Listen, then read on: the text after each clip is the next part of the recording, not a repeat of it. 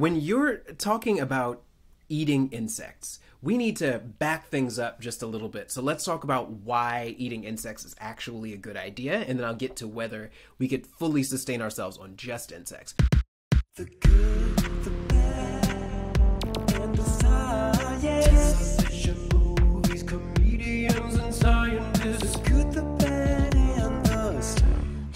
Welcome to The Good, the Bad, and the Science, the show that breaks down the science of television and movies with a comedian and a scientist. Today we're discussing Snowpiercer. So I'll ask about climate change, eating bugs, and freezing your limbs off. Hi everyone, I'm your host Ethan Edenberg, and I've got two wonderful guests joining me today. My first guest is a comic based in San Francisco, although he just told me he is moving to LA. Welcome to the show, Murahd Shawki. Hello. Thank you for this very weird film. You're, I did not make it, but you are welcome uh, Oh, for, I guess, okay. bringing it into your life. So this is the first time you've seen it, is that correct? No, I'd seen it. I'd seen it before because I I really like the director Bong Joon Ho, and I remembered it being really weird. Uh, but I I I guess my memory got real foggy because man, that was a trip seeing that a second time. Uh, Yeah. And also, I thought that movie came out in in my head. It came out in like 2016. I saw it the year it came out. It came out in 2013, and that was I like know. a nice little panic attack I had at the beginning of the movie. Yeah, yeah. This Yeah. happens to me all the time, actually, going back and watching these movies. And I'm like, oh, yeah, this movie, this is a pretty recent movie. That must have came out like a year or two ago. And then I look and it's like 2008. it's like, whoa, what the hell happened between then and now? Um, so before I introduce the next guest, I wanted to ask you, since this movie is about a train ride that never ends, if you've been on any sort of long train ride. Yeah, uh, I took an Amtrak from St. Louis to Chicago, uh, and it was really just a game of how much can we, uh, underage young adults, uh, drink publicly on this train? How do we do it? Do we put the do we put the flask in the sleeve and then tilt? But why are you tilting up a whole sleeve to drink? That's not really low key. That's not very subtle. And then we found out. Uh, if you if people just won't talk to you, they'll you can just drink. You can just normally drink and no one Yeah, yeah, cares yeah, because it's a yeah, train. Okay, So, that's awesome. yeah. So you are pro uh, extended train rides. You're down with it. Yeah, yeah. Uh, I hope they get that hyperloop. What is it called? That thing from like SF to LA that they're making or Yeah. supposedly going to make. I, I would, I would be a day one train rider.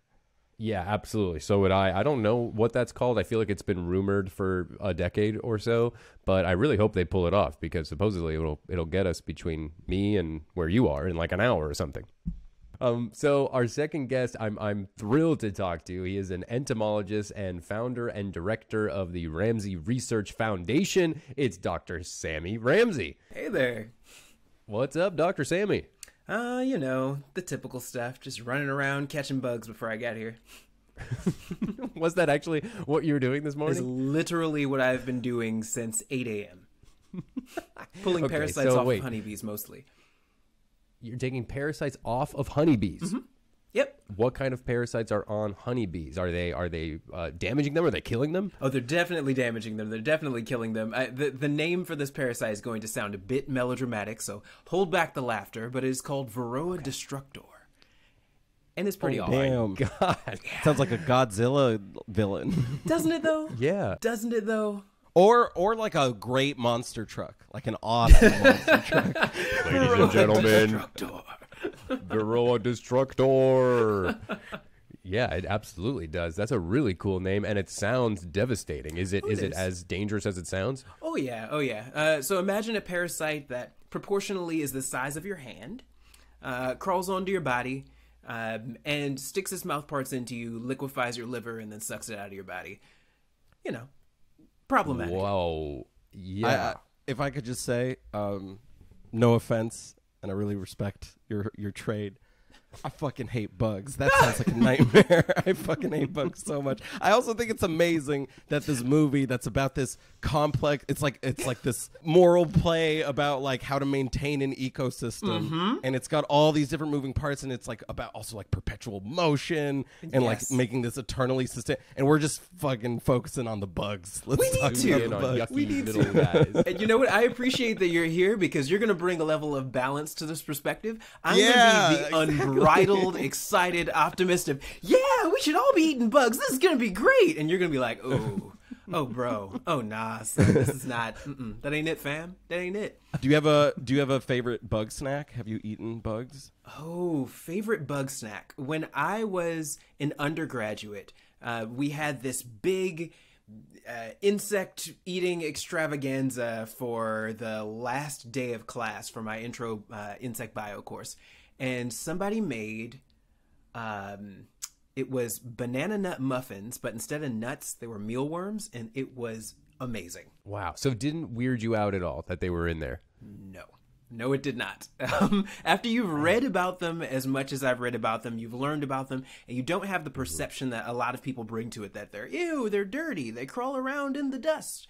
Like, when you get past those elements of it, it's hard to find them disgusting as a, a food product. Especially considering the rest of the stuff that we eat. I mean, how hypocritical would I be not being willing to eat some mealworms when we eat shrimp, um, we eat lobsters, we eat crabs, all of which are the bugs of the sea.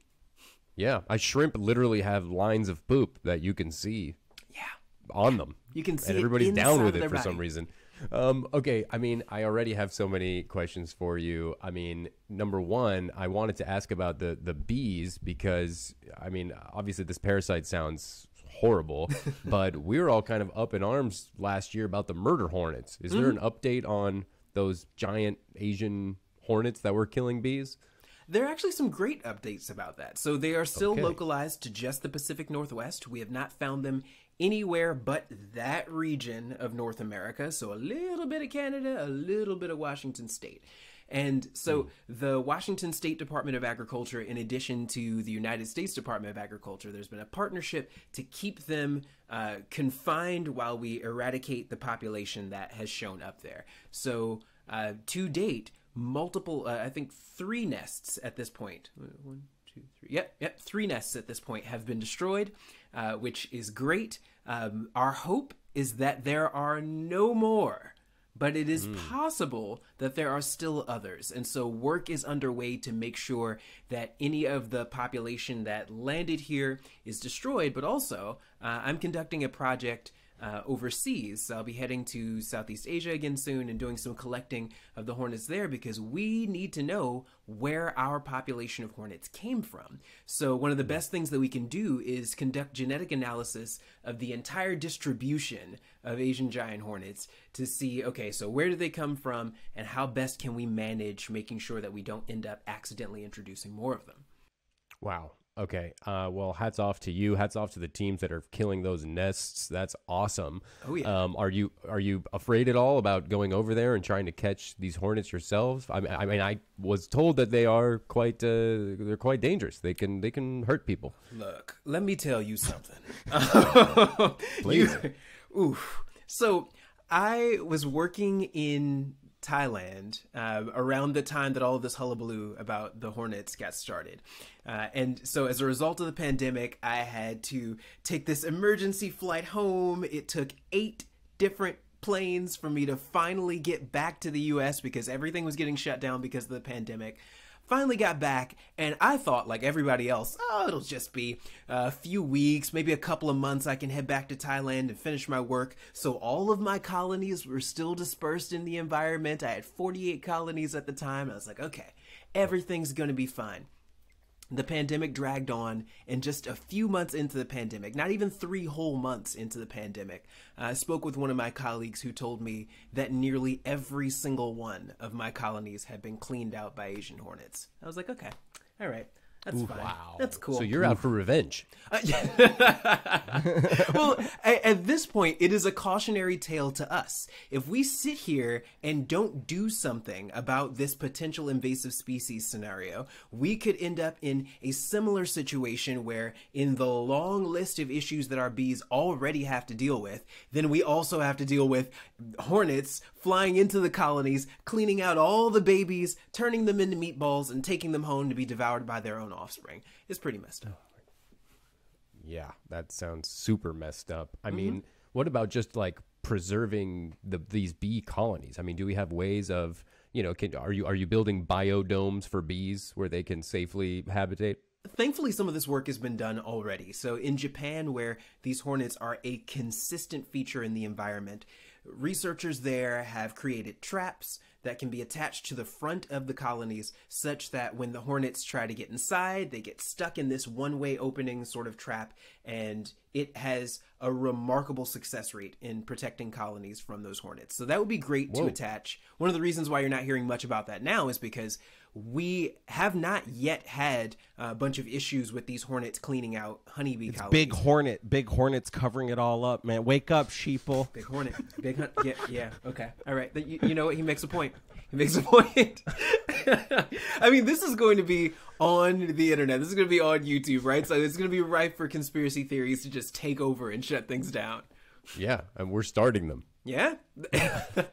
I'm not. I'm not. I'm not going to stand here and let Big Hornet take over. All right. Absolutely not. I can tell you this right now: the USDA is not going to be happy about me being involved with the starting of any conspiracy theories. So I'd like to say right now, I have nothing to do with any of this big hornet stuff. Well, I just have one question on that, just because it's like going to stick in my mind as we discuss oh, other yeah. stuff if I don't ask it. So this like one way trap thing why mm-hmm. doesn't it trap the bees i'm seeing it like when you go to mm. park your car and you mm-hmm. drive over those spikes Yep. and you can't back up so what why why do hornets get trapped but bees don't See, I, I- see why you're the host of this show. You just on the fly pop up with great questions, Ethan. Well done. fly. So, all right so these bees, ha, on the fly. i thought it because no one else wanted to do it well, you know, I don't know the internal workings of this, but but it, it made sense to me. So these, Okay, thank you. the bees are substantially smaller than the hornets. The hornets are huge by comparison, and so because the bees are smaller, they can easily get out of that opening if they go into it. So that's not an issue for them. Uh, the bees also have. Uh, they're they're going to be less attracted to the the sorts of baits that we would use for the hornets than the bees. So there are fermented baits that are often used uh, for the hornets. The hornets can actually get drunk off of, mind you. Um, but yeah, yeah.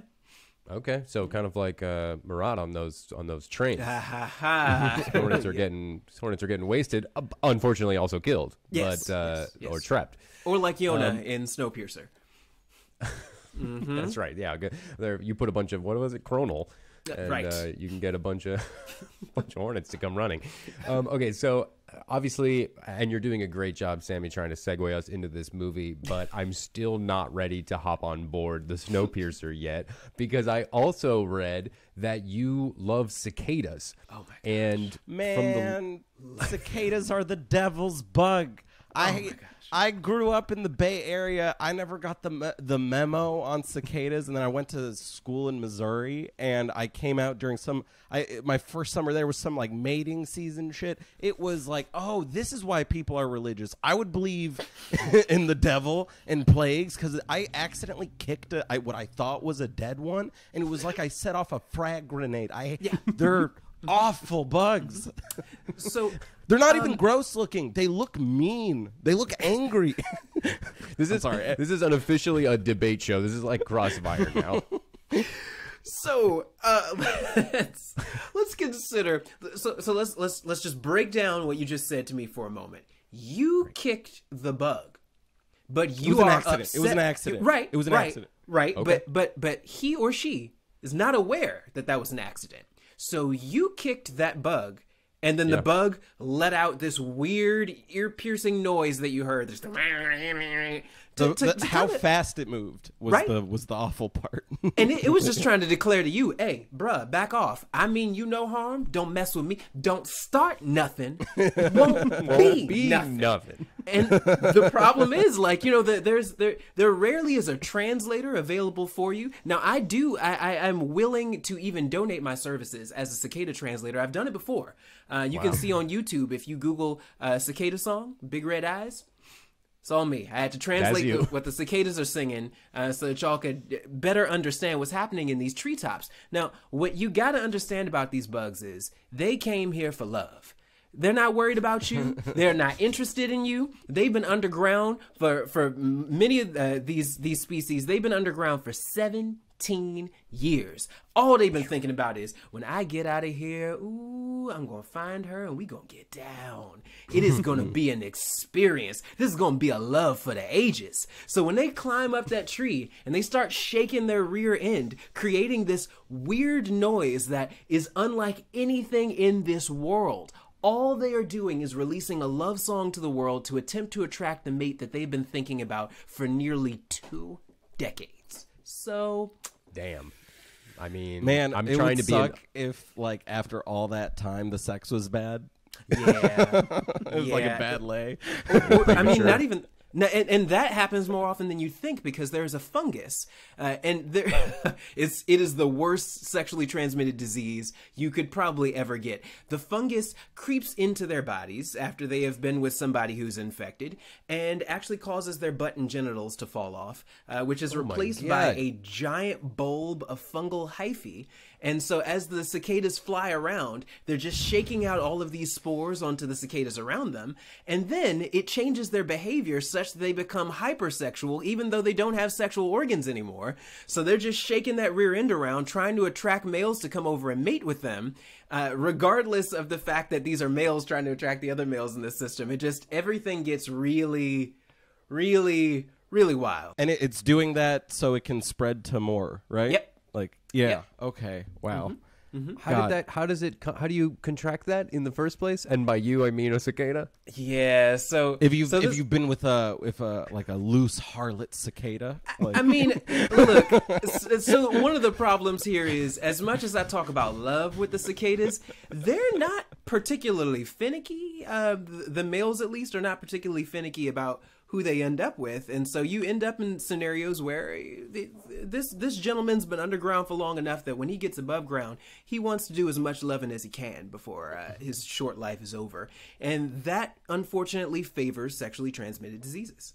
Oh my god. I mean, it does make sense though. Mm-hmm. Like I'm trying to see it from the from their perspective. Like if you're underground for 17 years, you're probably a psycho. Yeah, a little bit. Like your Yeah. brain kind of melts. you're full incel after that. Like, right. You're exactly. I prefer to think of them as hyper focused rather than psychos. They've got one thing on their mind. They have a lot of problematic political views. yeah. So that's why cicadas don't have Twitter.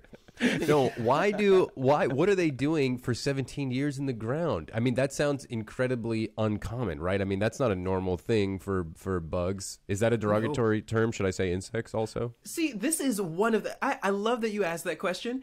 This is one of the few circumstances where you are correct to say bugs. If we were still oh. talking about hornets, definitely not bugs. Bugs are a subset of insects. So, first of all, anyone who's ever called a spider a bug is incorrect. You have to be an insect first, and spiders are arachnids. And then hmm. within the group of insects, there is one group the hemipterans. These are the insects that have a stylet as a mouthpart. It is a long spear-like tube that they can stab into plants to pull fluid out of them, or stab into other organisms or other um, insects, animals, and things uh, to pull fluid out of them. So it's kind of their defining quality. And if you don't exist within that stretch of, of, of creatures, you are not a bug. Now, cicadas do have a stylet for a mouthpart, and this is a great segue into the question you asked uh, most previously to that one, which is what are they doing underground for 17 years? Well, it's a it's a lifestyle that doesn't involve a lot of physical exercise. They stick their mouthparts into oftentimes one root for the entirety of their 17 years and they will feed from that root as fluid as they're extracting fluid from under negative pressure they're pulling this very very very nutrient poor fluid out of the roots. It's mostly just water with a few dissolved ions and nutrients in it and they're feeding on that. So that means that they're going to grow very slowly because there's not a substantial amount of nutrients going into their diet. This allows them to grow really really really slowly but also not to have to do much in the way of movement or activity Wow. And then how long are they alive once they're above ground? That's the saddest part in this process. Uh, usually Oh, knew two it. to four weeks. So, oh my god. if you can think about the fact that they've been down there for 17 years thinking about this one party that they're going to have that's only going to last a, a, a few weeks, it's kind of upsetting. But what I've been trying to, to help people understand, like you, you said, they're they're they're pretty much psychos when they come out of the ground. Well, uh, let's let's think of them a bit more like what we've been through. So we had this whole pandemic situation where we were stuck inside for an entire year. And then we finally get to see the rest of the world again. And so, yeah, we can be a little bit weird. We can be kind of wild. We can be hyper focused. A lot of strange things happened uh, right on the other end of those lockdowns.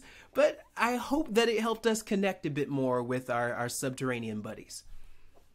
Yeah, they spent those 17 years like really working on themselves, getting into like baking breads and you know, yeah, okay. I like them a bit more now. Yeah, they finally wrote that book, Yeah. Exactly. Uh, That's My Life Underground. Snowpiercer 2. Okay, so well, I guess that that finally, I, I, again, you're you're really establishing yourself as a proper co-host here, Sammy, because you've segued us again. I'm gonna actually follow you this time and and talk about Snowpiercer, uh, a movie that I love, but but who cares what I think? Do- Dr. Sammy, was this your first time watching the movie? Uh, what did you think of it, etc.? So this was not actually my first time watching the movie. I started the movie more than a year ago, and Okay. yeah, and didn't actually finish it.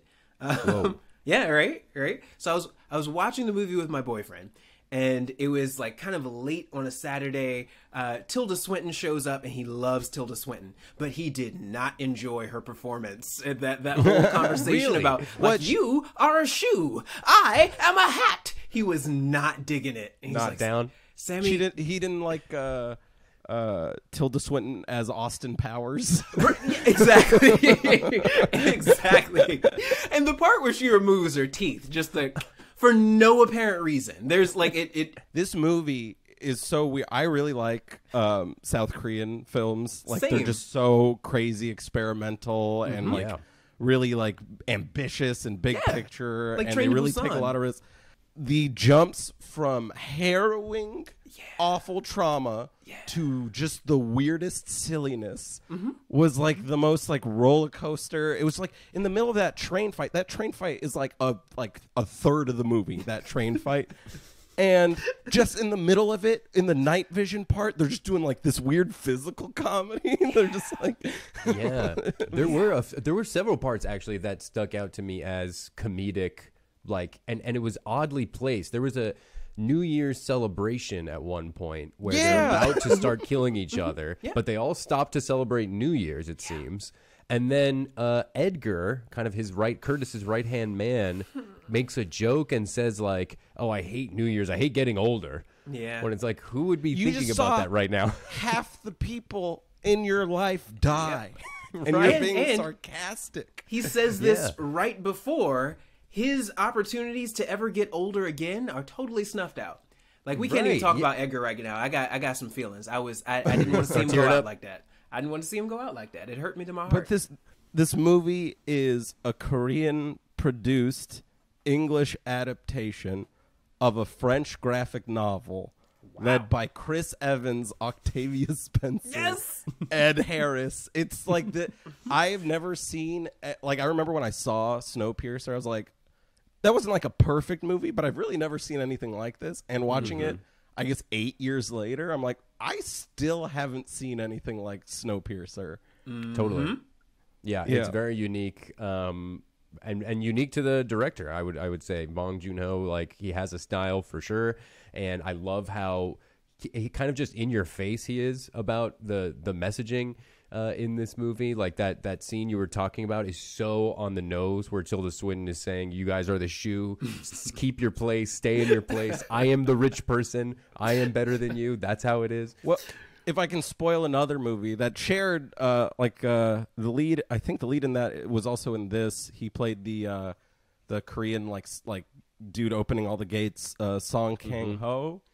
Um, he he was in um, what's that new one? Parasite. Parasite Yep. and Parasite. If I can like spoil that, like no subtlety whatsoever of like the working class living underground and like the rich people holding their noses. I don't really think subtlety is this dude's game, but like it's kind of refreshing. I kind of like when Exactly. somebody Yeah. just tells you something. You know what I Exactly. mean? You don't have to Exactly. go searching for it. But yeah, I love Same, but movie. but he still he he does throw in things that are either symbolic or seemingly symbol. Like there's a scene with the fish where they're about to fight with those axes, and then they they cut open this fish, and there's no explanation about it. There's no. They don't tell you really why they're doing it or anything. It's just kind of there and then gone. So I Yep. like how he he kind of peppers in these moments where you're like, wait a minute, what the hell's going on with that? What happened right there? Oh, okay, doesn't matter. Uh, action sequence. Uh, ca can I ask a bug question? Love that. So those those bug bars that they're eating these protein bars, and it's cl- it's you find out it's just all bugs, Yep. uh, and that's why Sammy's here. Yep. uh, uh, can you make a bug bar that is like nutritious enough to be your only source of sustenance? Like it, it has all the minerals and vitamins and everything you need. That is a stellar question. When you're talking about eating insects, we need to back things up just a little bit. So let's talk about why eating insects is actually a good idea, and then I'll get to whether we could fully sustain ourselves on just insects. So, eating insects is an incredible way for us to avoid a couple of problems that we're dealing with. One, climate change is being driven quite heavily by our land use practices that are also connected to how the organisms that we are feeding on that land are releasing huge amounts of methane, which is a very potent greenhouse gas. So, what can we do about that?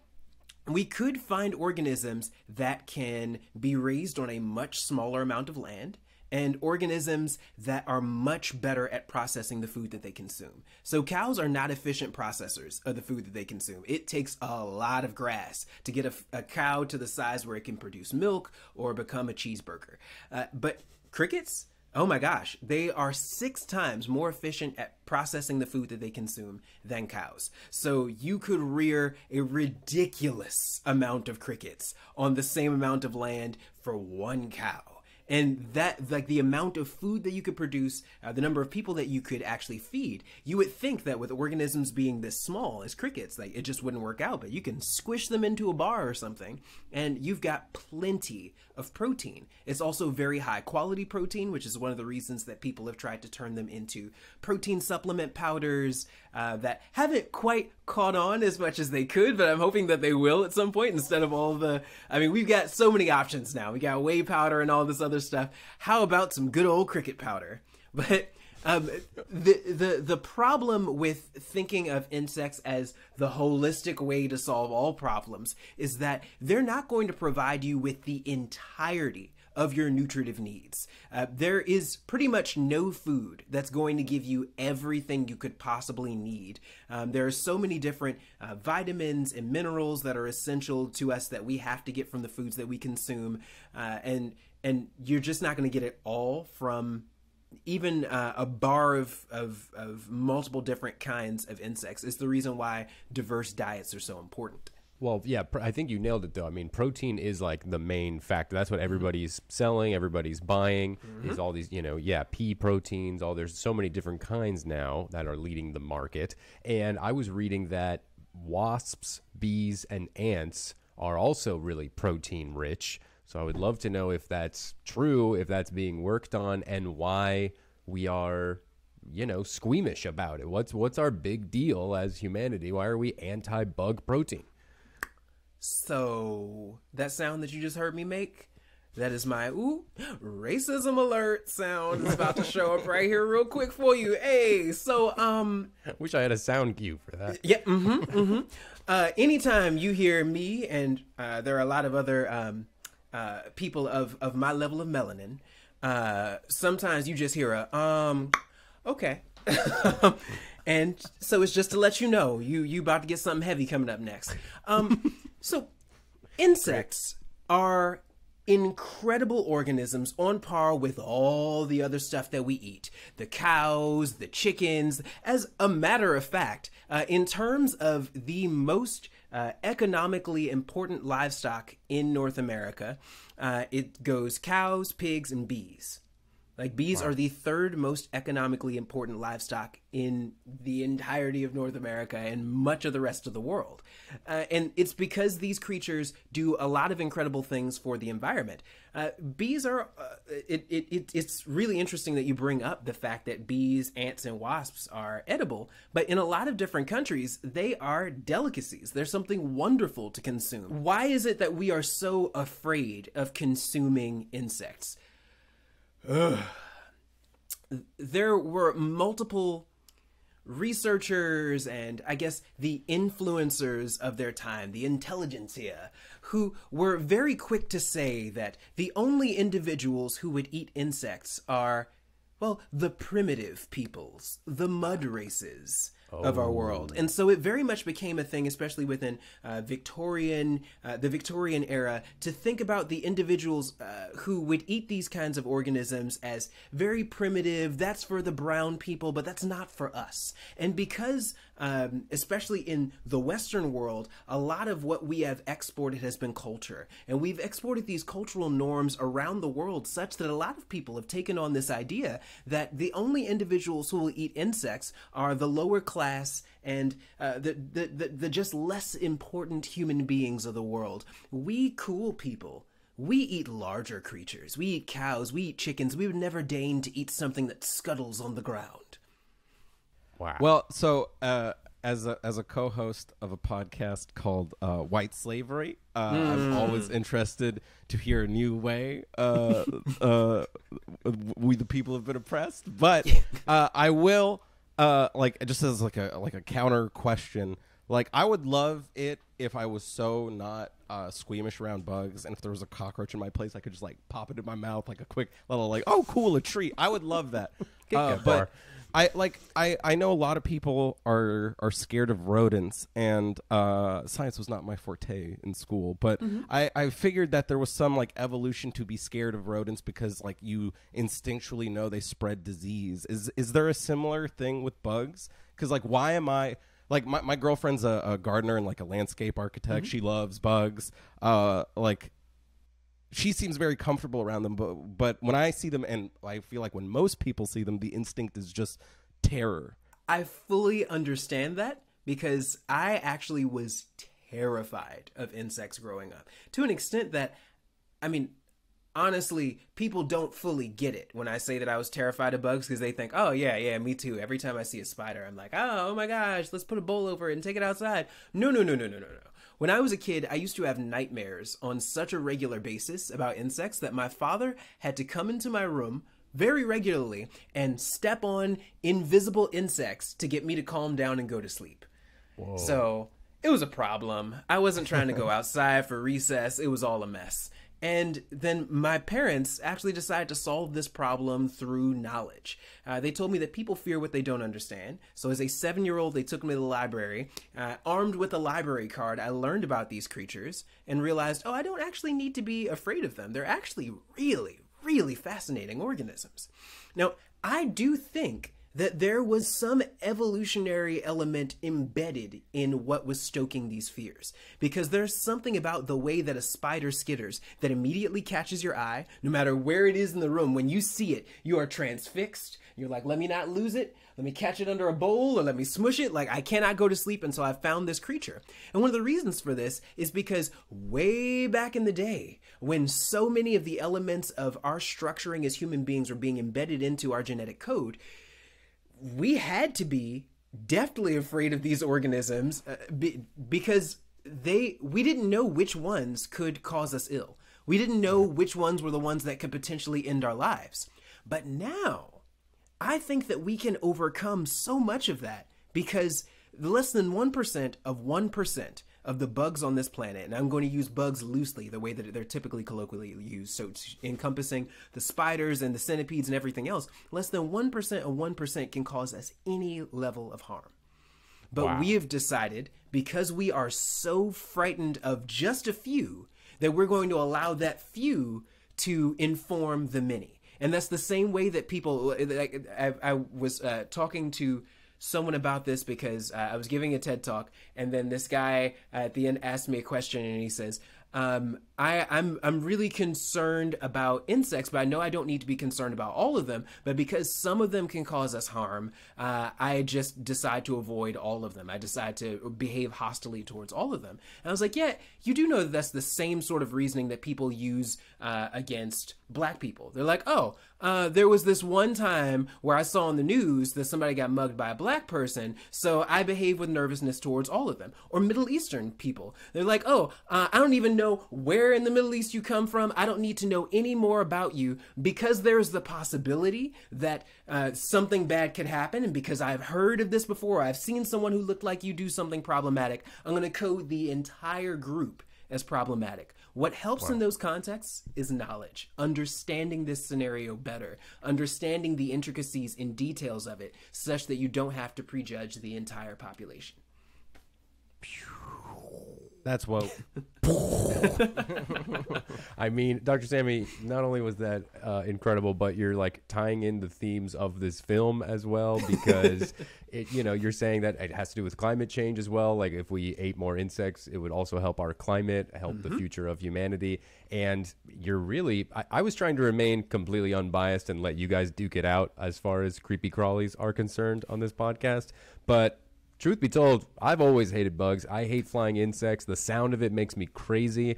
I can look like a maniac on the tennis court, swiping away. uh, that has happened. But you are really changing my my perspective on it because I don't want to be scared of them, of course, and knowing that such a small percentage of them are out to actually do us harm. Uh, I don't know. I think I've I think you've got me. That did definitely knowing how little of them can harm me did bring the prejudice down a, a little bit. I also Yes. I want to say for the record, uh, I, I, I although I, I I hate being around bugs, I do respect bugs, and I do the one bug I do think is cool. Uh, insect is like I can read about honeybees for hours. Uh, Awesome. Yeah. I knew it. I knew you were gonna say that. I That would be my uh, my rich people hobby. I think if I ever got super rich, uh, I might try to get some bees going. You know, it's it's sad that it works that way, but honestly, it, it, it tends to be people's rich people hobby now because the more uh, stress factors that we introduce for honeybees, the more work and the more money that it takes to keep them and keep them healthy. So before, where there were tons of people all over the U.S. keeping bees, now it's mostly more, uh, oftentimes more affluent individuals, individuals who are already retired and who have money to burn, that kind of thing. Okay, so if you're listening to this and you're rich and retired and got money to burn, get some bees, help everybody all, out. all your friends have a yacht already. Yachts are. None of your Yachts are so honeybees. lame, dude. Get you an dude. apiary, get you a bee farm. Yeah, unless your yacht is covered in bees, I don't want to see that. A bee yacht would be kind of cool. That sounds sick. You're gonna need to bring a lot of flowers with you on that yacht. Though, Yeah. 'cause there are no That's even better. It looks better. It smells better. That sounds cool. Um, okay, my my final question because I, I we're running out of time and it really feels like we've been talking for three minutes. You guys are both Doesn't it, incredible. It's like I can't believe this, but it's the easiest podcast of my life. Um, as far as these protein powders go, because I, I know people are you know they they buy these every couple months, and like you said, it seems like there's a new version of it every couple months as well is there one specifically you don't have to say whatever brand or mm-hmm. company but like is cricket protein the way to go for example should we be looking out for that should we be changing should we be pivoting to cricket protein yeah, what's like what's the Bitcoin of bugs? Like what Yeah, should we buy now? correct So, so multiple. There are so many different kinds of insects that will provide you with a great source of protein. The reason why we oftentimes see crickets and mealworms being featured is because they are very easy to raise. We know the exact bioparameters that allow for you to rear them quickly, that allow for you to rear them with, with very little money, and it takes a lot of the guesswork out of the system. If we were to try to add other creatures to this, uh, it can be a bit more difficult because trying to figure out exactly what it is that they need to be happy and healthy and grow as quickly as possible and produce more offspring uh, can be a lot. But there are plenty of insects out there that will provide you good, high quality protein. Uh, the vast majority of them are very, very low in fat, very, very high in protein, makes for a great uh, set of food for you to consume. Now, crickets can easily be dried and ground up. Uh, and it's one of the reasons why they also uh, establish a, a great system for protein because you can get rid of all of that excess water and the fluids and things that are inside of them, dry them up, grind them up really fine into a great powder. Uh, do consider, though, and this is the most important caveat to my mind. If you are allergic to shellfish, you are very, very, very likely allergic to insects because the protein that causes that allergy is chitin. It's the protein that makes up their exoskeleton. It's the same protein that makes up a crab's exoskeleton. And so I was actually um, my this is this is uh, an interesting story, but um, when I graduated, uh, my advisor was actually uh, he he came to my graduation party. Uh, my parents set out a bowl of bugs, and it was just like this this crazy uh, situation where he popped a cricket into his mouth, and I was like, wait a minute, wait a minute, wait a minute, wait a minute. You can't eat that, can you? Aren't you allergic to shellfish? And he's like, No, no, I, I, I don't think I am. I mean, I might have been when I was a kid, but I ate a soft shell crab recently and nothing happened, so I was good. I was like, oh, no, no, no, no, no, no, no, no, no, no. The reason why soft shelled crabs are soft is because the, the, the, the matrix of proteins in their exoskeleton hasn't fully come together yet. And so that same set of proteins that you typically can't consume, there might not have been much of it in that soft shelled crab. And while I'm saying this, he's like, I might be swelling up a little bit. so, you know, crazy situations like that can occur. Um, but uh, just all of that to say, if you are allergic to shellfish, then um, you probably don't want to eat cricket powder. Okay.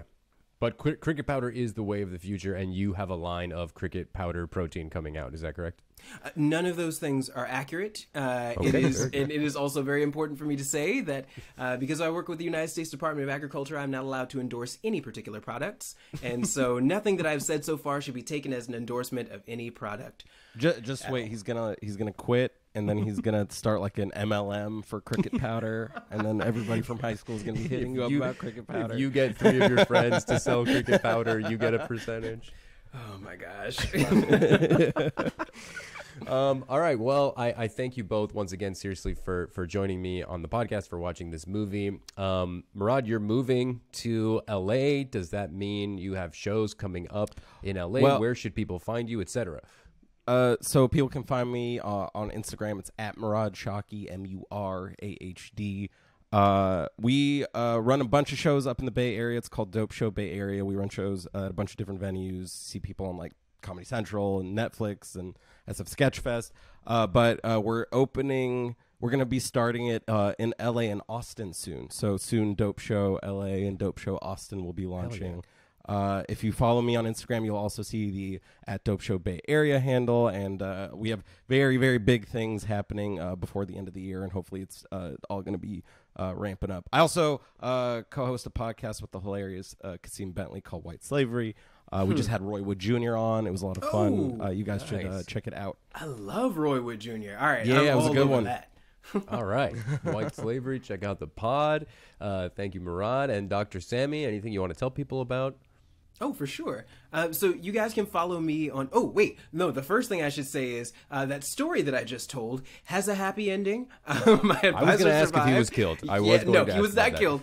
Um, he did have to use an EpiPen, but he was fine. But that leaves me uh, constantly trying to remember to tell people, like, okay, uh, I do want to endorse the consumption of insects. I think it would be better for the environment. I think it would be a, a good idea for us to consider this. But do keep in mind if you have allergies to shellfish, it's probably not the best source of food for you.